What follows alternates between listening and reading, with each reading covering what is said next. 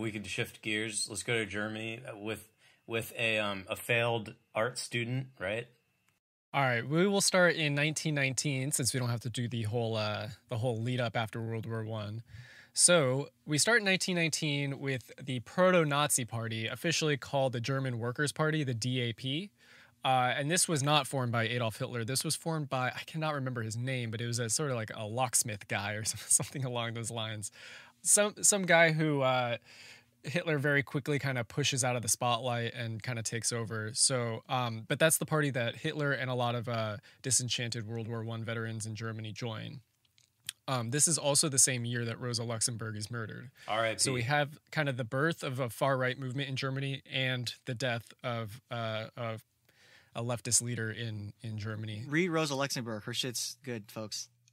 Yes. Very good. Yes. Reform or revolution is the big Yep. one. Yes. Maybe a future uh, topic. She tried to put them on a different path, the Social Democrats, and they they- KPD. yeah, they backed out. Yeah, she was murdered in coordination of the uh, Freikorps and Social Democrats.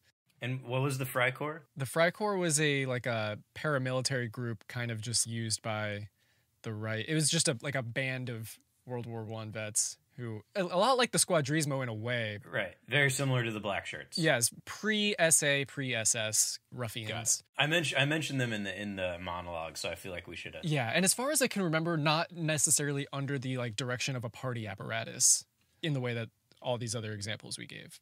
So in 1920, the the DAP is is rebranded as the German Worker, the German Workers' Party is rebranded as the. Ah, it's such a long name. It's the Nazi Party. They turn into the NSDAP, National Socialist German Workers' Party. But that's not. That's NSDAP is in German, and I cannot speak German, so I'm not going to do that.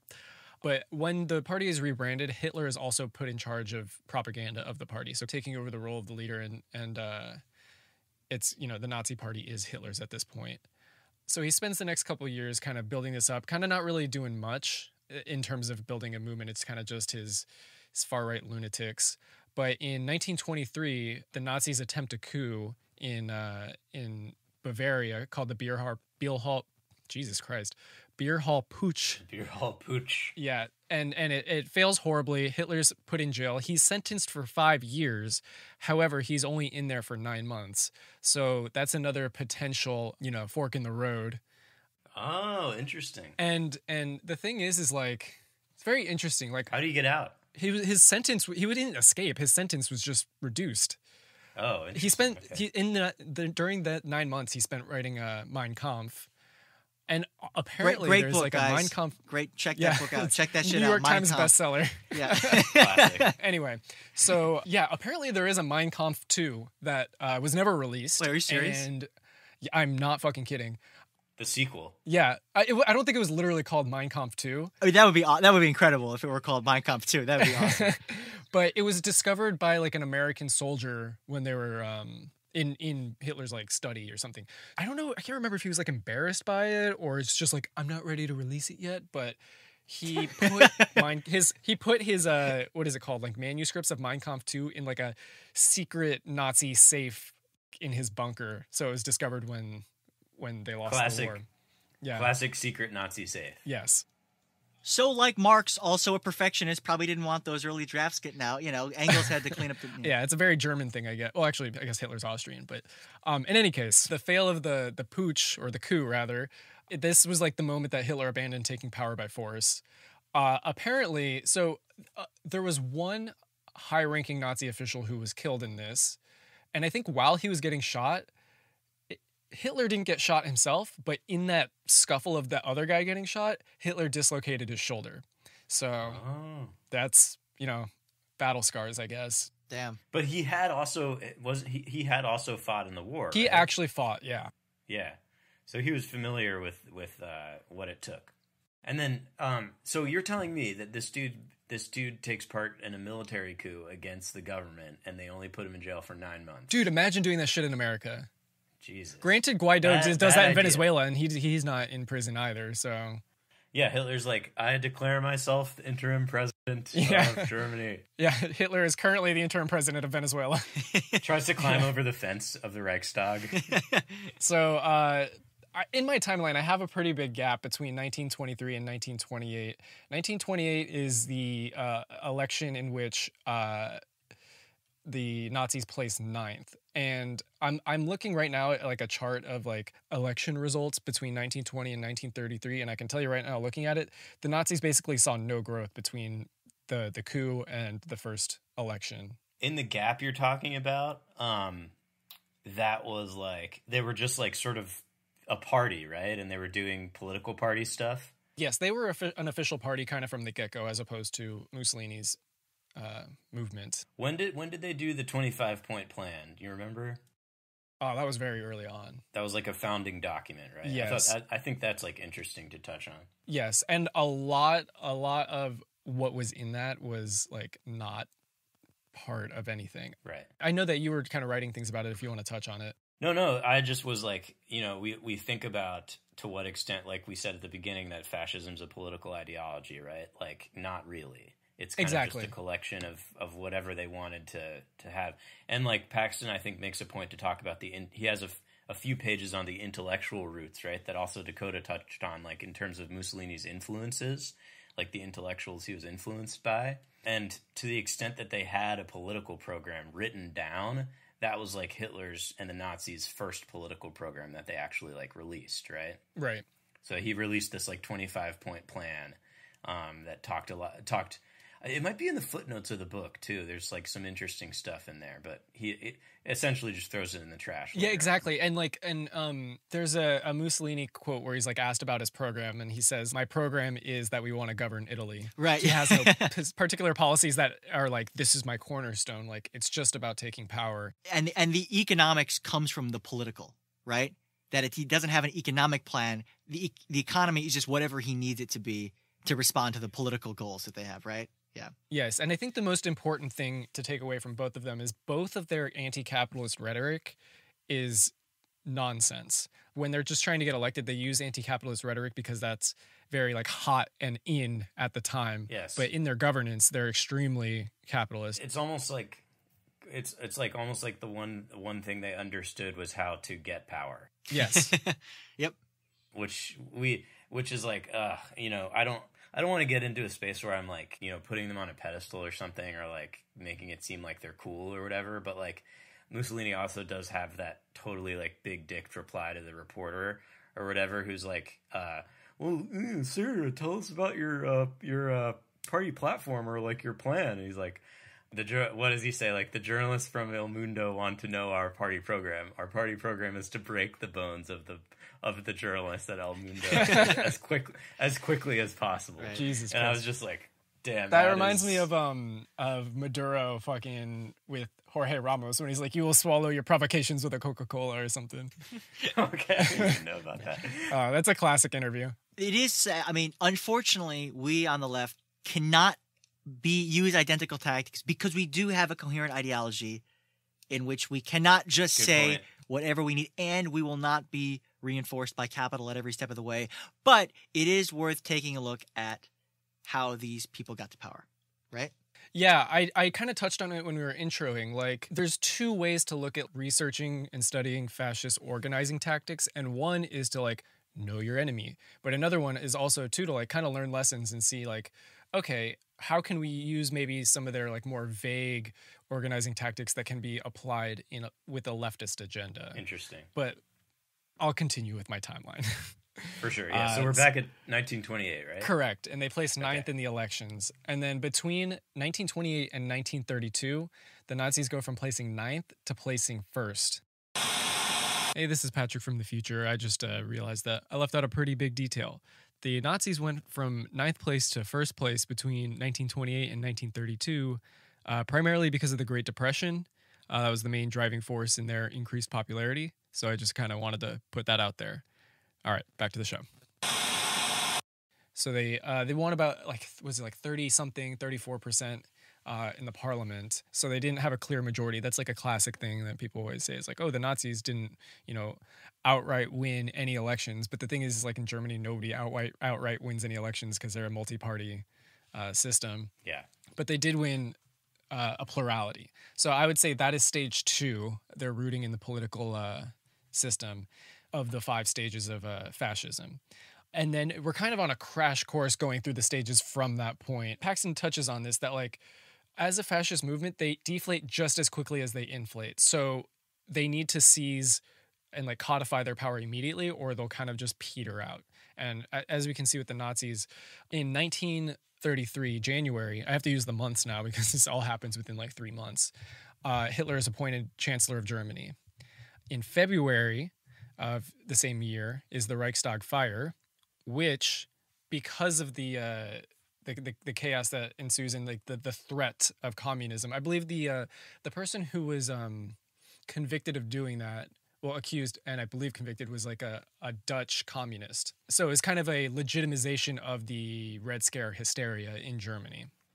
And also like it, it, like another thing okay we're gonna talk about forks in the road right? Like uh and this was literally like a match thrown onto a big you know vat of gasoline or whatever i wonder like if this hadn't ha- because you know, it, it was seemingly not random, but like you know, a crisis that kind of came out of nowhere. Uh, if this hadn't happened, you know, what would the alternate timeline look like? It was like the most con. Well, I'll get into what I'm going to say, and then I'll I'll come back to that. So the next thing that happens in March, because of the fire, was the Enabling Act, which allowed uh, Hitler to act without the, the without the Reichstag. Kind of just basically becomes the dictator of Germany. And so going back to that, I believe personally that like that was just the most convenient thing at the time, but I think there would have probably been something else that he would have used. Kind of in a similar way like how the US goes to war, like they always kind of like either make up or make someone attack them so that they can go to war. Like, oh, you cut off Japan's oil, of course they're going to Pearl Harbor. Oh, Pearl Harbor happened, let's get into war. Or, you right. know, let's blow up our own uh, ship in Cuba and go to war with Spain. Or, you know, that kind of that kind of stuff. Uh, the Gulf of Tonkin incident I actually didn't know this until I read the book, but the Enabling Act was a, a law that kind of had to had to be re-upped every four or five years. So it's not that he became dictator for life. However, there was always a kind of a good excuse. I mean, in their terms, a good excuse to extend the Enabling Acts, uh, especially once the war started. Uh, and you ban all other political parties, right? You can just yes, yeah. yeah there were no more elections after that. Kind of an interesting example like early example of wielding a power that was still constrained by existing political and legal mechanisms, not to the full extent of just being like a one party dictatorship that just does whatever it wants, but still sort of take like giving people the courtesy of like at least passing a law, right? Yeah. Yes. Hitler um, took power legally. Yeah. Like the almost like the Patriot Act, a much stronger version of the Patriot Act, you know? Where mm-hmm. Yeah. The government would already do all this stuff. They just need this thing, this piece of paper, to you know. Yeah, to legitimize it in yeah. the eyes of the public. And and again, uh, he was. Did you cover that? Is this? Did he already become chancellor at this point? Yes, he was already chancellor. Um, but and how did that happen? He was appointed by uh, President Hindenburg. Okay. So it was kind of a similar situation uh, in like the tu- the dual power in Italy, where was, there was like the king and then the PM, except for in Germany, it was the president and the PM, or in the chancellor rather. And that was another another example of sort of like a backroom deal where uh, he, the guy who appointed the, him, ha, uh, someone else like owed him a political favor or something, and it was like there was a lot of like backroom sort of shuffling of of uh, power going on. Yeah, and the backstairs know, conspiracy. Yeah, yeah. I do know that like basically what had happened is the conservatives knew that the Nazis had like a popular movement and they were terrified of communists. So if they were going to fight the communists, they needed to have a popular movement. So uh, that was like why they originally decided to co- uh, coalition with the Nazis. Additionally, just another Paxton quote is uh, that fascists are like a private anti-communist military for conservatives and capitalists. Very convenient. Yeah, because capitalists don't want to be doing the fighting themselves. Right. But we see like with control of uh, government transferring over to the Nazis, uh, not a coup, not a uh, you know, um, you know, not a violent incident. Uh, cooperation with existing elites, which right. is a recurring theme. Yeah. Right. And yeah, I guess I don't want to like blow our load too early and stuff, but there are so many Paxton quotes that come to mind when I'm just thinking about this like two year period. Oh, cool. Yeah, go for it. Well, I'm totally having a brain fart now, so I have to. Well, okay, so I think we're. Go I'll just say, yeah, I mean, it's kind of interesting because in, in America we have this unitary executive branch, and so um, you'd almost have to imagine the equivalent would be like if, you know, the RNC just sort of like you know annulled their own primary and handed it to some other candidate, you know. yeah. Right. Right. like what might happen in the next couple of months well, well, yeah, we don't, yeah, with Biden. yeah, So so yeah, just going back to what Paxton was ha, the the thing that I was going to say that I just had a brain fart on. Basically, pure fascist movements are impossible because fascists need to seize power through coalition with existing apparatuses and existing parties, usually or almost always conservatives and capitalists. And the degree to which the fascist dynamic exists in that country is is basically like the ratio of fascist to non-fascist belligerents in that coalition. So this is my made up kind of percentages of it, but like I would describe Hitler's fascist movement in or fascist governance in Germany to be like 80% fascist, 20% conservative, where like Mussolini is like 60 40. Got it. Mussolini, like Mussolini literally got fired by the king, you know? So that's just a case right there that the Right. conservatives had more sway in Italy. So also in March, immediately after the Enabling Act, the first concentration camp opened in Dachau. And who were the first sent there? They were Marxists and socialists, of course. Never fucking forget. Yep. But yeah, by the summer of 1933, Hitler's dominance over his conservative allies was completely and clearly established. In the summer of 1944, he kind of turned his his uh, I guess firing squad towards rivals within his fascist regime, and that was that came under the name of uh, Night of the Long Knives.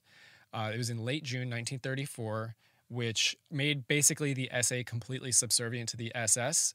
There was a gentleman who uh, I believe was in charge of the SA called Ernst Röhm. He was assassinated because he was probably the biggest clear internal threat to to Hitler's dominance within the party. So Patrick, can you can you set this up a little bit? Like who who are the sides here and what do they want? So the SA is basically like the radical rank and file, like squad squadrismo type characters Okay. who in Italy were constantly asking, or not asking, but like demanding further radical Right. movements from Mussolini, and you know, like if you're not going to do it, we'll do it for you, kind of deal.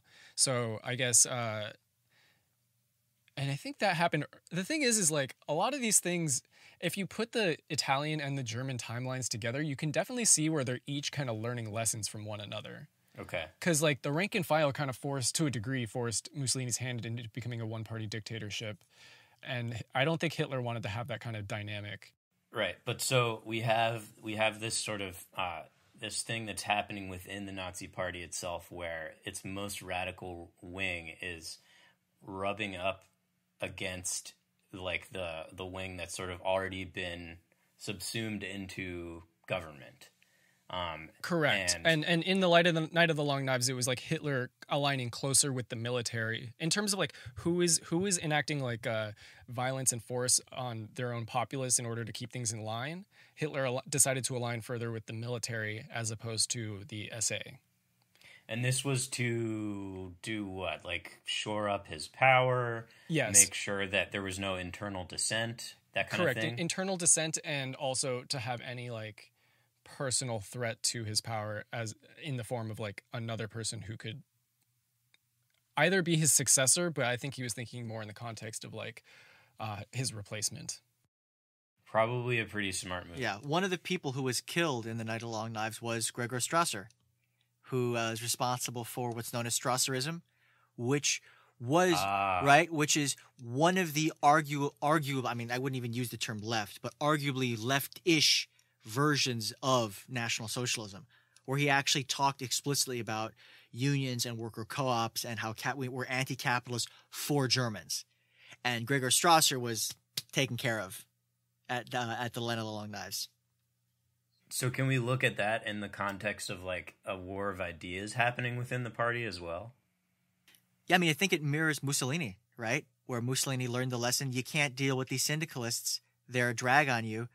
You know, you got to get cozy with business.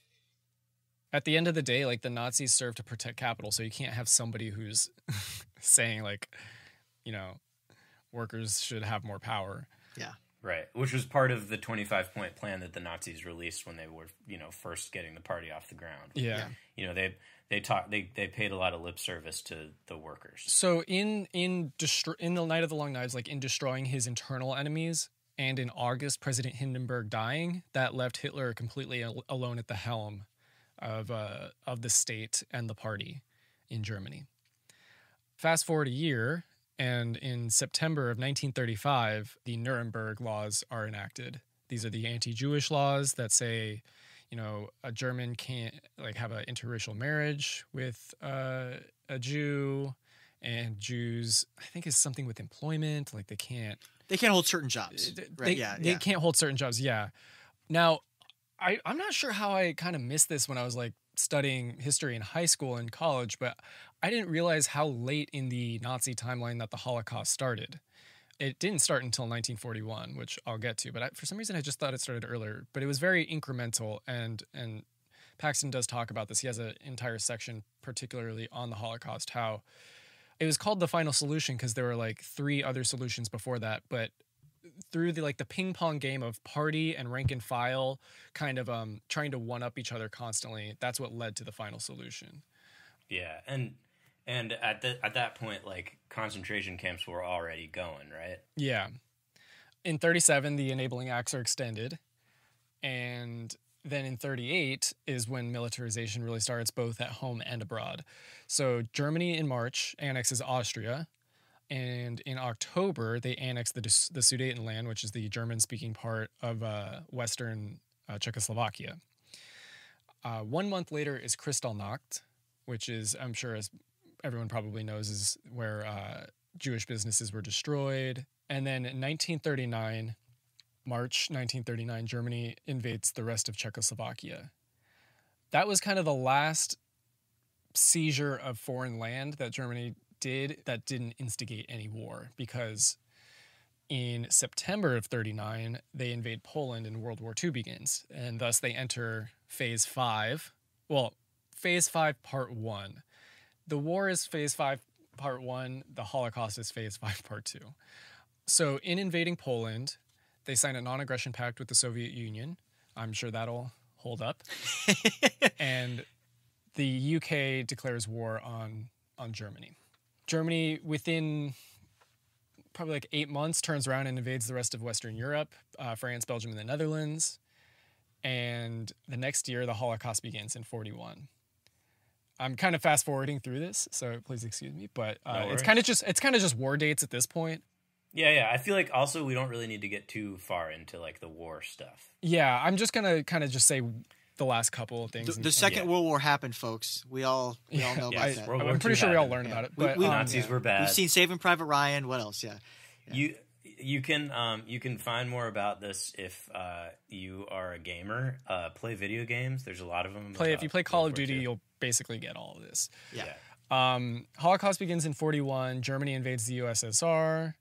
1942, under you know the umbrella of, of war, the Enabling Act is extended. Uh, 1944, the U.S. joins the Western Front, and in 1945, Hitler kills himself. Actually, Hitler gets married, and then he kills himself. Watch that movie Downfall. It's about the last days of Hitler. That's the one with like the classic Hitler scene that people turn into the like, meme. when- yeah. Yeah. yeah, when your team loses in the playoffs. Yeah. or It's actually a great movie, but it's, it's everyone should check it out. It's a great movie. But yeah. Rest in piss.